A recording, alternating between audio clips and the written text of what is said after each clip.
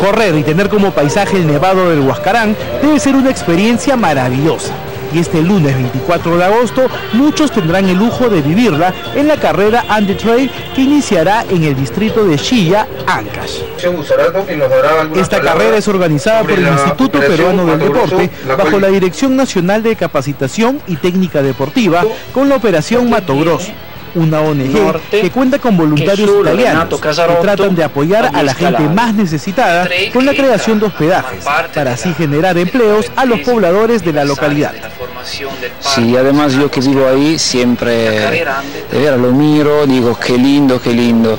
Y uh, le da la posibilidad de ver a, a, muchos, de pasar por ahí, conocer la naturaleza, yo creo que es una cosa lindísima. Y espero de ver que de acá en adelante muchos puedan venir a los refugios para admirar la belleza, sabiendo que pueden ayudar a los más pobres. Se puede participar en tres modalidades, 2K y 8K, que son totalmente gratis, y en los 40 kilómetros, que sí tiene un costo.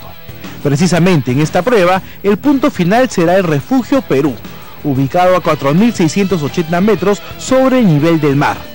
Uno de los personajes del deporte que estarán presentes es el atleta paralímpico Efraín Sotacuro y lo más importante es que no solo es eh, propiciar el deporte, sino también, eh, digamos, apoyar una obra social como la que hace la Operación Mato Grosso, esta ONG de italianos, que ha hecho que, digamos, muchos niños en Caraz, Huaraz, en Chacas, puedan estudiar un oficio y hoy puedan tener, digamos, un autofinanciamiento. ¿no? Será este, una buena experiencia porque eh, por allá, por Huaraz, por por Huascarán.